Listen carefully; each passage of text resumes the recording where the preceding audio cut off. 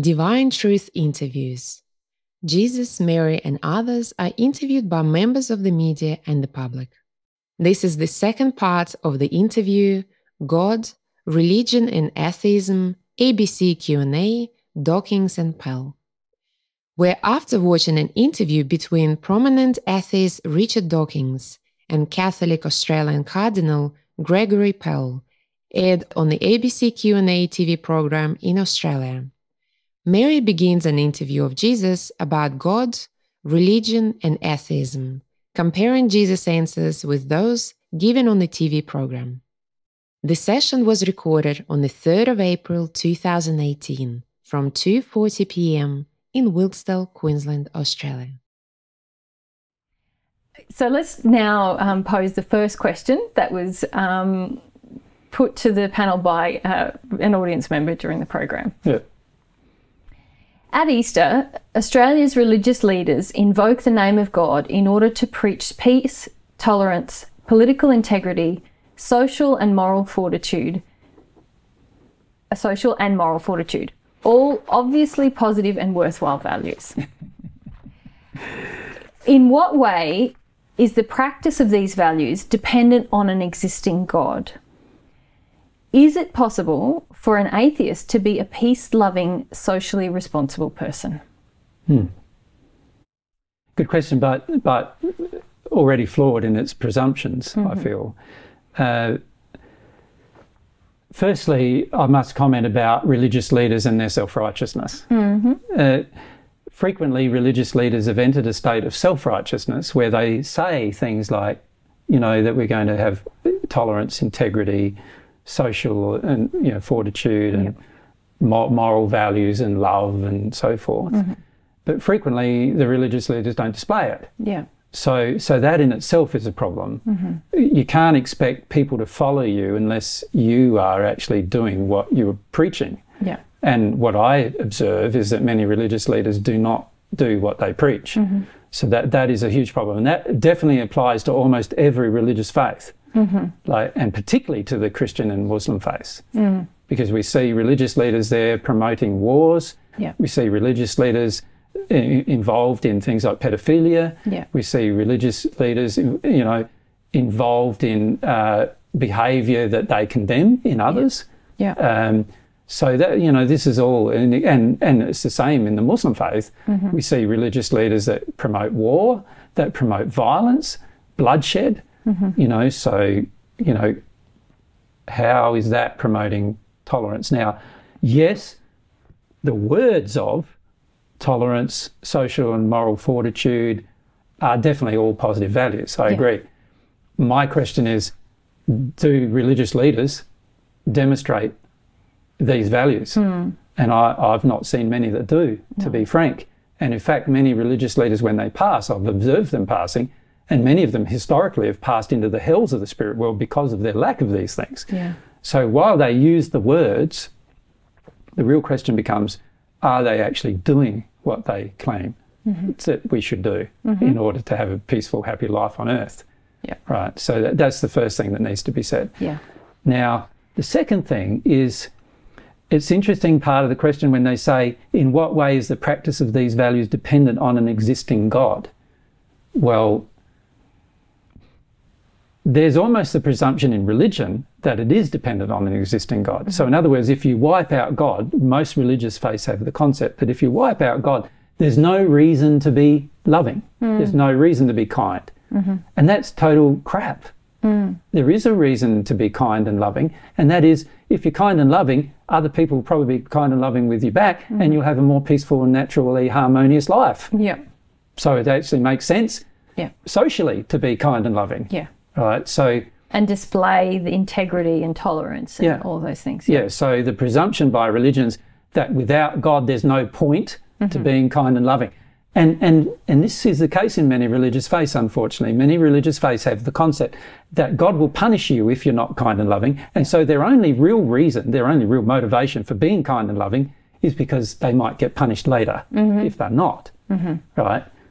That is also flawed. Very. Because because an atheist, when he's kind and loving, he's kind and loving not worried about punishment, Yeah. right? Which is actually a more pure state, isn't it? Yes. To be to be kind and loving because you want to be kind and loving, and not because you think you're going to get hammered or punished at some point in the future for being unloving. So one is a, a motivation based on uh, loving desire or a kind desire, and the other one is a motivation based on the avoidance of fear, basically. That's right. Or, or you could say also the the desire to s- satisfy selfish whims. You know, Yeah. is also the one reason why we're not. You know, Yeah. so so because we have standards uh, where we feel we are superior to others, Mm-hmm. we often you know engage those particular standards, unfortunately, Mm-hmm. and cause harm to others as a result. Now, I've seen ma- many religions do that, and many people in religion do that. Uh, just as much as any atheist might do it. So, Yep. so this presupposition that that to values came from religion is already flawed because values didn't come from religion. Obviously, values uh, have to be developed from within a person. So, so would you say that? What? How would you answer that question then? Well, the basic question is: It possible? Is is it possible for an atheist to be a peace-loving, socially responsible person? Of course, it is. Yeah. It's re- it's possible for any person, whether they're atheist or of any religious faith, to be a peace-loving, socially responsible person. Uh, it just depends on their internal ethics and belief systems. Yeah. Their internal morality Yeah. as to what w- that will determine that. There's a, there's another element as well, isn't there? Which is um, there's an existing God, and then there's a God that we connect to. Uh, you, you know, God God can exist, but we can have nothing to do with God. So to say that Which is the case for most religions. yes, so to say that the practice of the values is dependent on God existing is not really logical, is it? No, although uh, philosophically, if Yeah. we could look at it more, a bit more philosophically, um, for love to exist as a concept within humanity, it must also exist as a concept within God. So, philosophically, if you took God away from the equation, then the, then philosophically you could ask the question: Would love even exist? Right, Yeah. and that that is a valid philosophical question. Yes. And and my feeling to that is nothing would exist, Yeah. let alone love. you know, you can't take God away from the equation and have one thing disappear. Everything would disappear. Yeah. So love, kindness, goodness, the universe we live in, the earth, everything, Yeah. your body, everything would be gone. Not Yeah. not just Yeah. not just one thing, right? so so again there's this sort of supposition that if God doesn't exist, all these other things can exist Yeah. and they can't actually exist without God. Mm-hmm. So, so the reality is values are dependent upon God to a degree because Yeah. God has values. But the practice of those values is not Correct. dependent on that. It's the practice of the of values that is not dependent upon God. You can choose to practice those values yourself.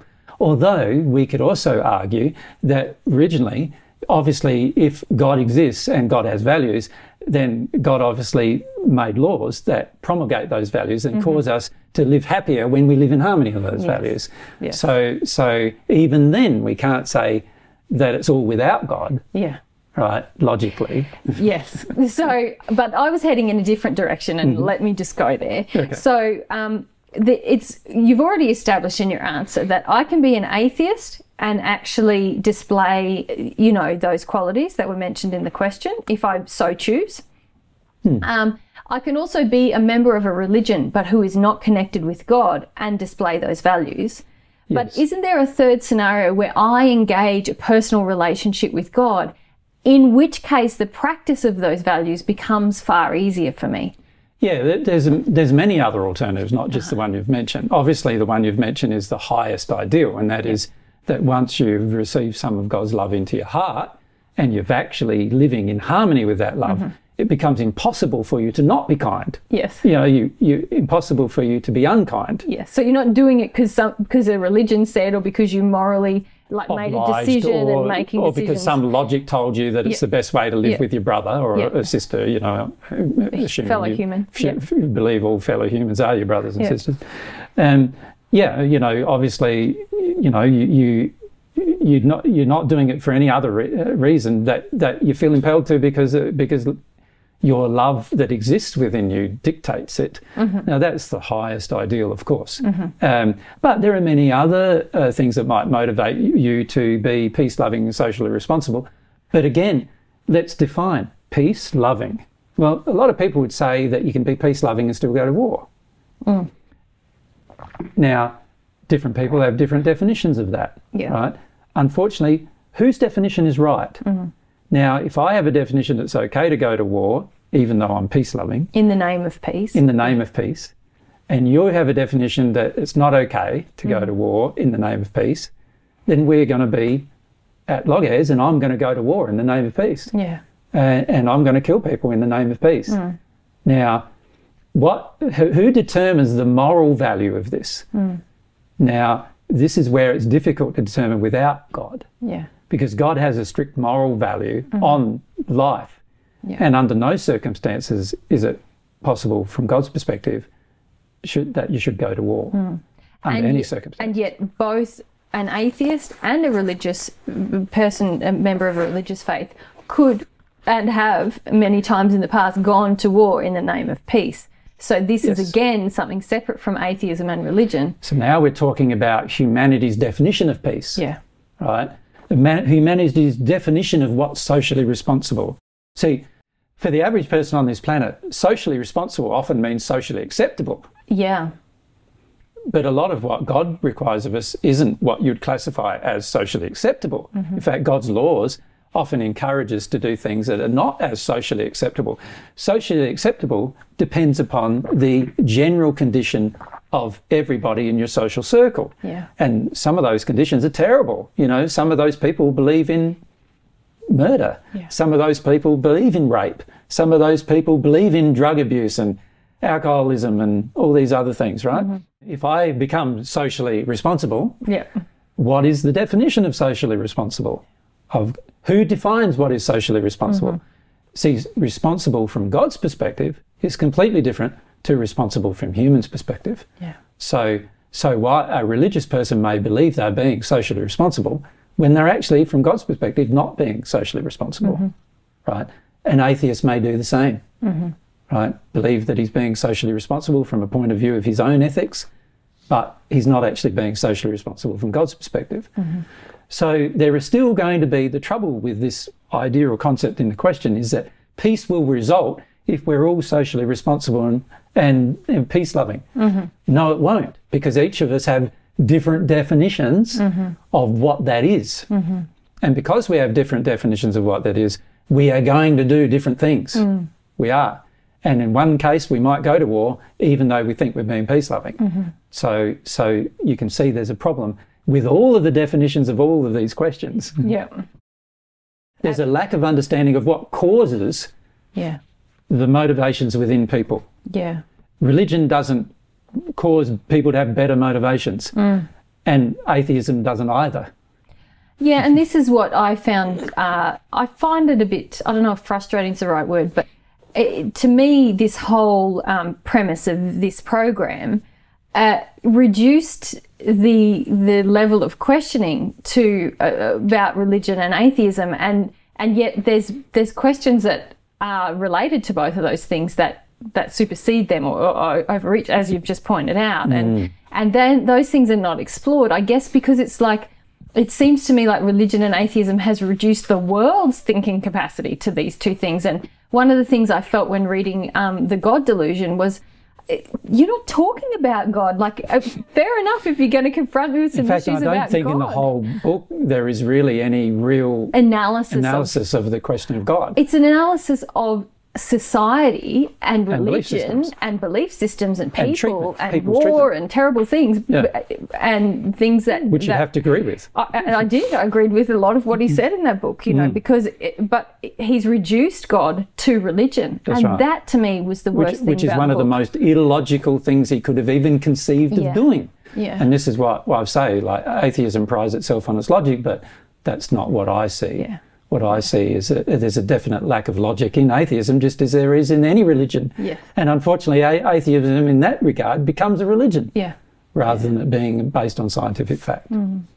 All right, well, let's get on to how Richard Dawkins answered that question Sure. that I posed to you. Yeah. And I'll just read out from the transcript exactly what he said. If, feel free to interject. Mm-hmm. So this is a point. direct quote from the transcript from ABC. Yes, Yep. from the Q and A program. Mm-hmm. Okay, he says, Obviously, the answer. Do you want to revise the question quickly? Well, he, he's, the question he was asked was this question, wasn't Yes. it? Is it possible for an atheist to be a peace loving, socially responsible person? Yeah. In what ways the practice of the values, the tolerance, peace, political integrity, um, Dependent on an existing dependent God. on an existing God. So, and is it possible for an atheist to be a peace loving, socially responsible person? Richard Dawkins says, obviously, the answer to that question is yes. I mean, it, that could hardly be otherwise. It is true that Christianity has adopted many of the best values of humanity, but they don't belong to Christianity or any other religion. I think it would be very sad if it were true that you really did need religion in order to be good. Because if you think about that, what that would mean would be either that you get your morals and your values from the Bible or the Quran or some other holy book, or that you are good only because you're frightened of God, because you don't want to go to hell or you do want to go to heaven. Yeah, and I have to say at this point, totally agree with him, right? Yeah, yeah. It's like, of course, that's the main motivation for many so called Christians and so called Muslims wanting to, you know, do the right thing. Mm. Only because they're afraid of what might happen if they don't. And that's a terrible motivation. And it's a wrong, yeah, Yeah. bad motivation. Yeah. Yeah. Now, as for getting your morals from the Bible, I sincerely hope nobody does get their morals from the Bible. It's true that you can find the occasional good verse, and the Sermon on the Mount would be one example. But it's lost amid the awful things that are dotted throughout the Old Testament, and actually throughout the New Testament as well, because the idea, the fundamental idea of New Testament Christianity, which is that Jesus is the Son of God who is the redeeming humanity, who is redeeming humanity from original sin. The idea that we are born in sin and the only way we can be redeemed from sin is through the death of Jesus. I mean, that's a horrible idea. It's a horrible idea that God, this paragon of wisdom and knowledge and power, couldn't think of a better way to forgive us our uh, give us our sins than to come down to earth in his alter ego as a son and save himself and have himself hideously tortured and executed so that he could forgive himself. Again, I have to agree with him totally. Yeah. Um, of course, you know, it, there is some a lot of logic in what he's stating about the belief system here he's taking from the Bible, but of course, the Quran also has just as many unresolved belief systems as this, Yes. right? Yeah. And so do many other religious faiths, Hinduism and, and so forth. So yes, you know, when you look at the logic of these belief systems, obviously that many times not only are they flawed Mm-hmm. logically, but they're also vile and hideous logically. you Yes. know, like Yeah. they, they demonstrate the very worst character Yeah. of this so-called powerful, you know, immensely powerful, infinitely powerful being has a terrible character. That's that's basically what it's saying. Mm-hmm. Yeah. And uh, obviously that can't be the case. Yeah. If if if God exists and has the character as defined by religious faith, then we would all be dead already. Yep. yeah. All right. Let's look at George Pell's answer to that question. Sure. So, again, the question was uh, in, in, just in summary, in what ways the practice of like good, loving, socially responsible values dependent on an existing God, or is it possible for an atheist to, to be peace loving and socially responsible? So now George Pell went on quite a bit, and it, if you do watch the video, it's interesting because there's a lot of sort of to and fro between the guys as well, between Pell and Dawkins throughout. Yeah, and, I, I feel a lot of angry to and fro too, isn't it? Like particularly on part of Dawkins. Uh, Yeah. You know, he's he obviously gets his, his wind up sometimes Yeah, about, yeah. and and he's obviously felt a lot of injustice from religion Yeah. that he still feels that he hasn't released. Yeah, yeah. And George Pell went on quite a bit in different ways. So I've just summarised what he said. So his answer was yes, atheists can lead a good life and be good people and socially responsible. I think it helps to believe in God because there's a Polish po- Polish poet Milosz who says that the opium of the people today is the belief that they won't be judged by God when they die. Those who have committed great crimes, done awful things, are going to get away with it, and that the people who have suffered unjustly had terrible lives, well, that's it. again, uh, like there's truth in what he's saying, isn't there? Like the reality is that today people are addicted to the concept that they can do anything and get away with it. They are. And, you know, God, if God's a perfect God, wouldn't have created a universe where you get away with everything, obviously. And particularly get away with things that are against any law based decision that God has made. So, you know, what he's stating is also true. He's saying that it helps to believe in God because it helps to believe that you get judged when you die. Yeah, that's not a good Um, premise, that's though, not it? a good premise, and, and also not the truth. Yeah. we're we're judged by the law, if you could call it that. Mm-hmm. Every moment we disobey it. Yeah. So you know the results we get from disobeying a law are immediate, Yeah. and uh, they're not something that happens just when we die. Mm-hmm. Um, it's just unfortunately that most people on earth are desensitized themselves to the results while they're on earth, Yeah. and they start to see the results only after they pass. So that's an issue. But and he doesn't that- yeah. understand how things happen after he passes because no religious faith, including no Christian religious faith, really understands it clearly. Mm-hmm. Even though I did say, and there are, is recorded in the Bible some specific indicators of what is going to happen, Yeah. most religious faiths don't necessarily agree with it. So, or or understand it. So the reality is most religions don't understand really what's going to happen when you die. But but there is this other problem that results from it, and that is this concept that you, it's almost like you're living with a constant threat. Mm-hmm. Unfortunately, though, most people who are practices of religion don't know what is right Yeah. to do, and so they need a book to tell them. Yeah. And and uh, and unfortunately, the book tells them many things that are wrong. Mm-hmm. And so they do the things that the book tells them, only to find out that those things were sins. Yeah. So, so while a belief in God might help you to, you know, to constrain your behaviour while on earth um, and not, you know, become so evil and, un- and malevolent on earth that you destroy things, at the end of the day, the Bible itself has perpetrated malevolent behaviour in the name of God. Yeah. So, so, so if, if you're saying that it's God, you, well, yes, I can agree with that. But if you're saying religions teach the right thing about God, I can't agree with that because well, a lot of what religions teach actually cause people's condition to degrade because it causes them to desire to sin. or, or, in other words, live in disharmony with God's laws. So, while he's saying some truth, he himself, I don't feel, really understands that truth. Yeah, and I think there's some things to pick up on in there as well about um, The reason why people take- believe in religions. no, uh, no, Well, I think we uh, need to discuss that. sure. Hmm. Well, do you want to do that, and I'll come back to my points Sure. later. Yeah. So uh, the main reason why many people accept a religious faith is because they believe they personally are being treated unjustly, mm-hmm. and they want somebody else to fix that for them at some point in the future. Yeah. And this, eh, his second part of his answer here that you've quoted, mm-hmm. is a demonstration of that belief mm-hmm. that God's there to fix all of their the unjust treatment towards them. Yeah. Unfortunately, though, many people in religions don't realise that a lot of the treatment towards them is neither just or unjust. It's like i- i- it's the result of the interplay of emotional conditions that are in more than one person that are actually both unjust. Yes. You know, in other words, everybody's unjust, not, not just the person who believes in the religious faith, right? And, and that is part of the point that I was going to pick up on is that you mentioned about God sort of judging at every moment, or the, the operation of God's laws, which we've discussed a lot in other contexts, i- imposing like penalty or reward constantly upon the soul. they are. Um, but it's the problem is that so many uh, people on earth are misaligned with the operation of those laws. They're actually using their will and and desire to act in opposition to them.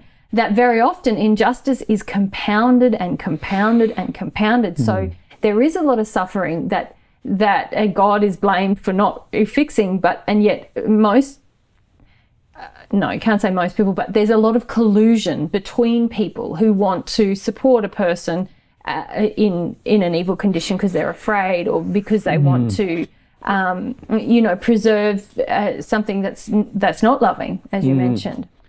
But uh, again, it's like it's like saying, like religion has been a major cause of injustice on this planet, without a doubt. And even today, it's Yes. still a major cause of injustice, right to this moment. The Catholic religion's faith itself is a major cause of unju- Well, unjust treatment of people fact, on the planet. Cardinal Pell has been accused of being uh, uh, involved in very unjust treatment himself. Yeah, but even if he wasn't, the Yeah. Catholic Church itself is because it, it, it holds on to wealth that it could Yeah. distribute to people who are poor, yes, but it holds on to it to retain it to itself. yes, Like it doesn't assist, uh, like it severely opposes growth, scientific growth in many cases. Um, it opposes uh, things like birth control and other things where where people have the ability to determine more about their own life. It often opposes scientific advancement. And can you say then that it is the paragon of virtue? yeah, No, you can't. In fact, what it's doing, you know, even in the Second World War, for two years it supported Hitler, mm. like outright supported mm. Hitler. So, so, you know, these so-called religions who who act as if they are the paragon of virtue mm-hmm. are so hypocritical in many ways, mm-hmm. imposing virtue upon their adherents. Mm-hmm. While at the same time demonstrating a complete lack of virtue themselves as a religious faith, and and so you know a, gr- a great deal of unjust injustice on this planet has been created by religious faiths. Mm-hmm. And mind you, some injustice on the planet has been created by science too. yeah, You know, the the le- unleashing of the atomic bomb is an example mm-hmm. Mm-hmm. where a great deal of injustice uh, unleashed by science, right? Yeah. So, you know, and you, and you can't really say it's by science, but a science assisted the process, and the main reason. You may, you know, we eventually discovered things like how to harness atomic energy in the mm-hmm. process, but you know, it would have been nicer if that's all we did with it. yeah. well, and that's right, and that's what I feel about members of a certain faith. If you're a leader in a certain faith and you there is injustice within your faith and you're not doing anything to change it, well then eh, you're you're responsible to some degree for for what's happening there. Mm. Yeah. We're being, eh, you know, accused of, you know, about it being a bad thing that we've removed pedophiles who, uh, to us, have demonstrated they have no desire to uh, to work deal through the that, issue, which is very different. which is isn't it? different, very- different than a pedophile who does.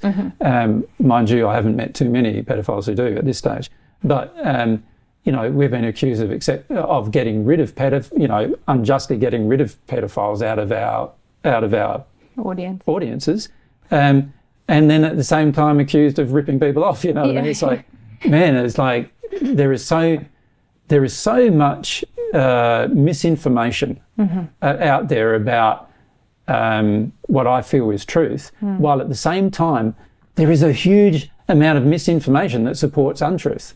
And and this is an example. I feel um, both atheism and religions have caused many destructive things on this planet. Mm-hmm. So both of them are not paragons of virtue. And how can they be? Mm-hmm. Because they are driven by the individuals in such with such belief systems, and the individuals, as I've already stated, have their belief systems that come from parental harm and mm. childhood abuse and other issues. And that are then perpetrated onto the world. So, and that's immaterial. You know, that's independent of whether you have a religious faith or not. So, Y- Yes, and that's what you were saying earlier, though. Just going back to um, Pell's answer, you were saying um, that people accept these kind of belief systems, like, oh, God's going to punish them, and I can't bear to think that God isn't because they've got unresolved pain. But also, as um, Dawkins pointed out, they act in fear of a bad outcome, but often that's because of the way they were parented as well. There wasn't any reward for good behaviour. There was That's only right. punishment for for bad, and you I lived know a with lot a of sense scientists of that are quite uh, what I would classify as uh, superstitious Oh yes, no, sorry, I, w- I wasn't uh, speaking because they yes. have the same injury, yeah, the injury of having a parent who's abusive. Yes, And there's a lot of scientists who won't investigate God for the same reason yes. I see what you're saying. because they have a parent who's abusive. So, so, so a lot of people re- accept a religious faith because they've got a parent who's abusive, but there's a lot of people who accept scientific so-called truths. You know, atheism, as an example, a lot of people accept atheism for exactly the same reason. Yeah, yeah. Ironically, yeah. Yeah, just a different bent, right? Yes. Mm. Yeah. Yeah. All right. So, um, would you like to add anything there? Because we'll move on to the next question in our next session. Yeah, so my, my feeling of this particular question is mm-hmm. firstly, the question itself demonstrates some flaws in reasoning in the sense that it, it sort of presupposes some things that are not true. Mm-hmm. And it also doesn't take into account uh, the behavioural reasons for a person doing what they do, the motivations for what they're doing, and also their upbringing, how that affects what they do. Mm-hmm. Doesn't take into account any of those things. And it certainly isn't the highest ideal either. The highest ideal, obviously, is that we are a person who loves, and that is of highest priority to us. And as a result of that, we also know the right definition of love, which is, as we've illustrated in the question, flawed on the mm-hmm. planet. Atheists are just as flawed with their definition of love as most Christians or Muslims or other religious faiths are. Mm-hmm. And so there's a terrible flaw of what is the definition of what is loving behavior that is all imposed upon what happens on the earth. So it's not just a simple matter of you believe in God and so you're going to uh, do the right thing and you're going to be a loving person. It's not like that at all. And it's also not a simple matter if you're an atheist, you're going to do the wrong thing because that's not true either. And in fact, both things, uh, it's impossible for both to do the right thing until they do have God's view of morality, ironically, because otherwise we're all going to have independent views of morality that will differ greatly. Now, in some cases we'll agree, but in a lot of cases we're going to disagree. So it sounds like to technically answer this question, you are saying, look, uh, strictly speaking, it's not it's not essential that you believe in God in order to to um, have this display these good qualities. However, you are saying to really know what those qualities are in practice, you will have to not just believe in God but connect to God. That's right. You can't do it. You can believe in God and still believe the wrong things here. Yeah. You have to connect to God and feel what God says is the right thing to do Yeah. before you'll know what the right thing to do is. Yeah. The other thing I'm also saying is that without God, none of these things would exist anyway. Nothing would exist. Yeah. So, so the reality is values wouldn't exist Mm-hmm. just as much as anything else Yeah. if God didn't exist. Yeah. So, it, from a technical perspective, every value is dependent upon God's existence Yeah. because without God, no values or humanity or or atoms or anything else would exist. so, you know, so it, it- again, it's difficult to answer these questions. The trouble with a format like this in something like Q and A mm-hmm. is that it, it's a TV hit, Yeah. and um, you're not going to get involved in depth, uh, concise answers from just uh, two people who are opposing each other Yeah. and who have anger based issues with each other, uh, you know, proposing qu- answers to questions that are flawed at the beginning. Yeah, it, it, uh, it's an interesting format, but it does have limitations, doesn't it? A lot of Yeah, limitations, yeah, yes. Yeah, yeah, And, and, it's highly unlikely for a person through an inter- through an interview or or a panel like this to gain any truth. And it's very hard, also, I must say, for people like Richard Dawkins and and uh, George Cardinal Pell. George Pell to to actually say everything that they believe in the shortest amount of time possible. They're, they're they're under lights, they're under pressure, and they've got time constraints. You can't say that what we've what we're saying is their full. Uh, No, and, and they may agree with some of what I'm saying. Yeah. Obviously, they don't agree with all of it um, Yeah. because if they did, they would have had very different answers. But Yeah. Um, you know, um, you can't. We can't. You know, what we've learned through our own interaction with the media is that everything is very heavily edited and Mm. restricted, and it's almost impossible to gain an accurate conception of what's being said well, unless you have a live conversation that goes on for hours and hours and Yes. hours. to be fair, this is a live program, but obviously with time constraints. Yeah, so, that's right. Yeah, Yeah. All right. Well, should we leave it there today? Yeah. Yeah. Thank you everyone for joining us. This will be this is just the first in a series um, that I'll be doing to interview Jesus about the concepts of religion and atheism, and hopefully shed some light on the truth about God and love. It has been enjoyable. Thanks, babe. Thank you, Don.